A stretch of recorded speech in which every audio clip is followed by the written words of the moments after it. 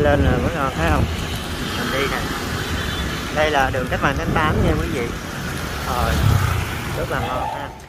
À, hello các bạn ha. Đây như là những mẫu uh, xe gấp của mình ha. Dạng Scotter nè quý vị thấy không?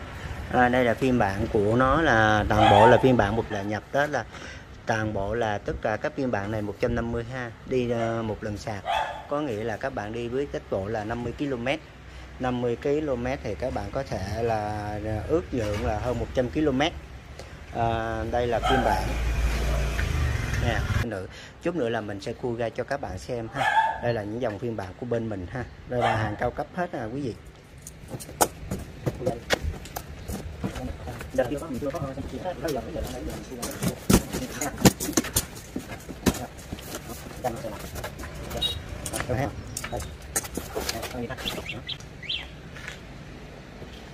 Rồi, ok quý vị ha. Đây nó có kèm luôn bộ kính cho quý vị đó. Đây cái pin. Nè. Um, cái pin của nó là 48V ha 48V Rồi, còn đây là cái bộ kính của nó kèm theo của cái bộ xe này ha. Rồi ừ. đây, bộ kính của nó dễ thương không quý vị? Đó không. Đây là bộ kính của nó nè bên trong này. nó có để móc lên cái xe ha. Còn đây là cái ốc dặn của nó thôi. Đây cái bộ kính vậy ừ.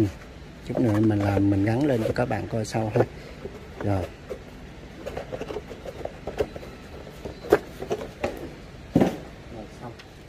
Rồi, ok. Rồi, mình cua ra nha. Đây đây, mình lại lấy ra cho quý vị ha. Đây, con này thì phiên bản các bạn đè ha. Nhấn đè vô đây là nó sẽ nhảy cái này ra nè. Nhớ nha. Nhảy cái này ra các bạn đưa lên là được rồi. Đó, chú ý cái này ha. Lúc đầu không khó nhưng mà à, về là về được để ý là được rồi ha. Rồi, mình xin phép nha.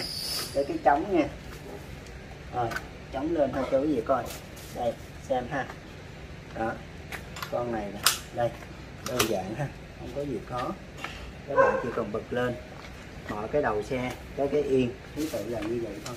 Nhà con này nó cũng thoải mái, dễ dàng ha. So với phiên bản mini đó. đè vô ha, nhớ nha quý vị đè vô rồi đây về vô ha. Rồi mình lấy rồi mình gấp lại. Mình gấp quanh lại ha. Đó. Đó, đè lên ngắt nè đó ngắt luôn. Mới xay. Ừ. ok. Đây nó còn có dấu trục dây nữa nè. Và để ý ha. Đây nó xài xiết hết ha chung giờ, các bạn đưa về ba bậc cũng là ba bậc với nhau luôn. Nè nhả lỏng ra. Rồi các bạn đưa ra. Đó, một, hai bậc này. Bậc này là cao nè. Đó, hai người đó cao rồi, đi ra bậc một nữa. Rồi mình siết lại, cứ siết lại theo vị trí cảm thấy nó chặt. Rồi sau đó nó nhảy yên xuống ha. Đó. Rồi, xong phần yên ha quý vị. Còn thấy nó lỏng á các bạn về với mình siết lại. Nè, siết, ốc này lại nó chắc vô các bạn thấy không? Nó xe dịch ở đâu, bị siết ở đó vô. Đây. Nè. Rồi mình cho các bạn thấy ha.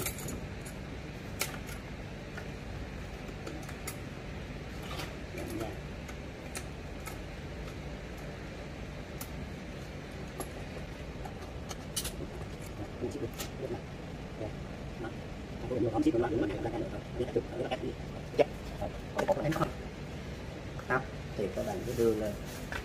Nhả cái cổ này ra. Nè, thấy không? Đưa ở tầm của mình thôi.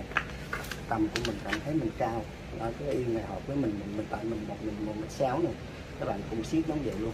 Áp vô còn nếu mà vừa cái hướng của mình thì các bạn cứ chơi theo kiểu hướng của mình ha và ai muốn thấp thì để tay thấp ai muốn cao thì siết lên rồi nhớ nha cái đầu này là phải siết chặt vô nó mình dặn là mình phải căng chiều hướng thẳng với bánh xe. Theo chiều hướng mình thẳng với bánh xe nha, nhớ nha. Rồi, sau đó mình mới siết vô.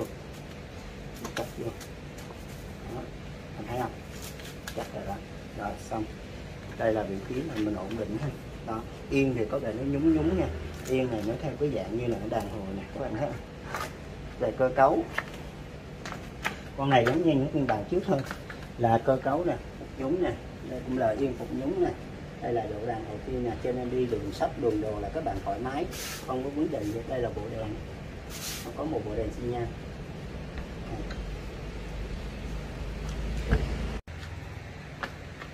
Rồi ok mình kiểm tra cái ờ, mình bật lên cái đường dáng ha quý vị ha. Rồi như cụ thôi cái công tắc thì cũng có hai cái remote thôi. À, một cái màu hồng và một cái màu trắng. Đây mình mở lên cho bạn nha nhấn nè. Nhớ nha mình nhấn hai cái đây hai cái sấm sét này.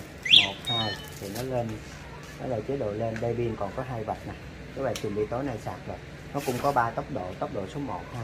Các bạn à, tốc độ số 1 các bạn à, chỉnh lên tốc độ số 2 thì những cái này thôi như cũ giống như phiên bản này bồng con của mình thôi không có gì khác hết. À, rồi số 3 đây mình kéo lên cho các bạn coi ha. Đây số 3 của mình thì mình kéo này. Ok ha, lên 50 này thấy không? Hai vạch thôi là nó lại nhảy lên 50 nè, các bạn thấy không? Đó phiên bản của mình nhảy lên 50 nè, rồi mình xuống nè, tốc độ xuống số 1 nè, nó nhảy lên xuống số 1 thì tốc độ cho phép nè, chỉ dưới tầm mười mấy km thôi đi dạng như những người lớn tuổi đi chợ này kia đó. Còn tốc độ số 2 các bạn vẫn kéo được 30 nè, cho phép 30 mấy nè, đó, ở tầm mức đó thôi. Đây là chưa được đi được cây số nào hay quý vị? Đây, tầm chưa được cây số nào, đây là biên bản mới nha đây là quận còn mới vị trí còn kèn đây, thắng làm đó, đèn ngáo, trái, đây, đèn xi nhan. Rồi kêu đèn xi nhan, tôi nói vậy nữa gì ha. Ừ, trái. Rồi, mình phải. Là trái phải. Ok ha.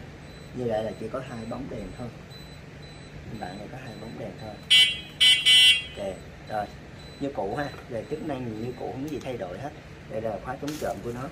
Đó. Các bạn coi những đợt clip trước của mình là những phiên bản mẹ bồng con, những phiên bản trước là hầu như là tính năng đều giống nhau hết.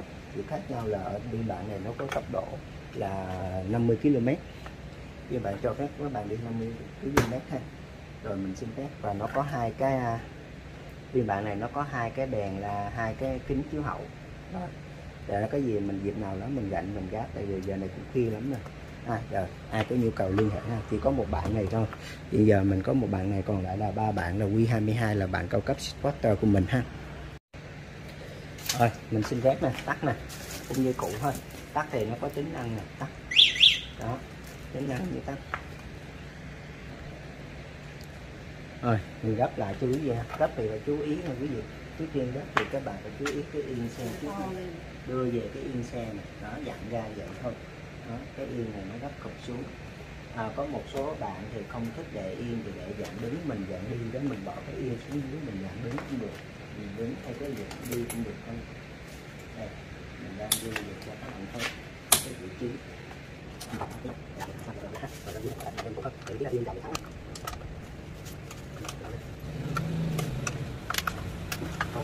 Các bạn đưa về. Đó. Không. Một số thì à, cái này nếu mà các bạn tháo ra thì nó hơi phiền cái chỗ là các bạn dặn con ốc này nên tháo hai cái yên này ra. Đó thì mới lấy được cái cái nắp này ra thì các bạn không dùng cái yên này dạng các bạn đưa dạng tơ dạng đứng thôi mà. Rồi cái yên này phải đầy cao hết cỡ lên hết cỡ. Đây để mình thử luôn ha à, cao hết cỡ như vậy. Cũng được ha. Đây hết cỡ cho các bạn cho phép được ở đây thôi. Thì các bạn lúc mà đứng lên đó thì đó các bạn thấy không? Vị trí của các bạn giống như một dạng scooter thể thao ha. Rồi mình xin phép ha còn giờ bây giờ là mình đóng hộp lại. Đó sạc pin ha. Pin chỉ có hai vạch thôi ước chừng xài được hai tuần lưu giữ được hai tuần ha. Rồi mai mốt là ai có đi thì em về sạc cho đầy ha. Rồi, đây là dòng pin của nó 28AH6 thì nó tương đương là các bạn sạc từ 6 đến 8 tiếng ha. 6 đến 8 tiếng. Thì đi ước ước lượng bình quân 50 km thì được hơn trăm cây. Khẳng định bạn là hơn 100 km còn những các bạn đi mà tầm 20 30 km là tầm số 2 cấp 1 cấp 2 thì các bạn đi được trăm tư hay trăm rưỡi, ước chừng rồi tại vì với tốc độ càng cao thì tiêu thụ tiêu thụ càng biên càng cao. Vậy thôi.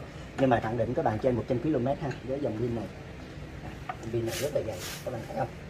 Còn à ở dưới còn một bộ đèn. Ừ. nó còn một cái đèn lá ở dưới. Như vậy có nghĩa là nó giống với phiên bản này bằng con của mình rồi. Nhấn cái công tắc bên này, nhấn im nhấn im cầm à, 3 giây là nó hiện lên cái đèn luôn á bạn. Chỉ cần nhấn lên cái nó hiện lên cái đèn này. Đặt cho mình thử cho các bạn coi luôn ha. Đây mình mở lại. Nha. trước khi mình đóng. Đây tối đèn xin ngâm bấm lên đèn thấy không? Nhấn im 5 giây đó nó lên hết rồi thấy không? Đó 5 giây là các bạn thấy không? Đèn xi đi buổi tối. Rất là đẹp ha với ánh đèn lung linh. Đó. Rồi không có gì khác. Đây là so với biên bản mềm mà con chứa đây 100 km của mình thì con này là 150 km ước chừng là phạm vi 150 km nên là đây là một dòng cao cấp ha, quý vị. Đi một người cũng được ha, hai người cũng được, quý vị thì thiết kế thêm một cái yên nữa. Rồi xong, mình chỉ cần tắt, nhấn hai cái này nút tắt này, chìa khóa.